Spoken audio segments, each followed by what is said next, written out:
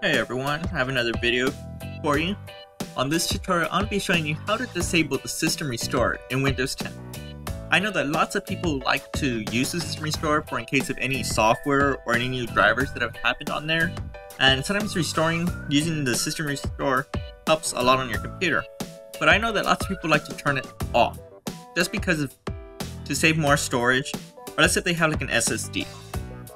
Doesn't really matter, it's whatever they want to do.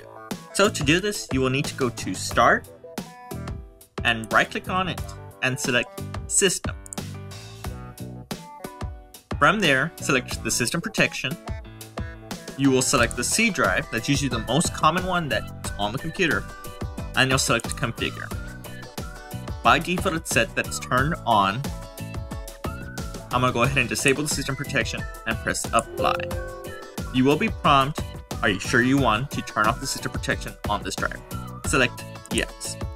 After that, you should be turned off, and that's how simple it is to disable the system restore in Windows 10. Thank you for watching from Helton's Computer Repair, and I'll see you on our next video.